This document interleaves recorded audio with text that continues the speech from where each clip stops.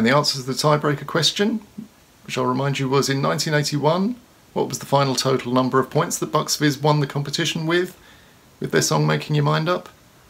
And the total number of points that they won with was 136 points, which was only four points higher than the second placed entry, which was Germany's.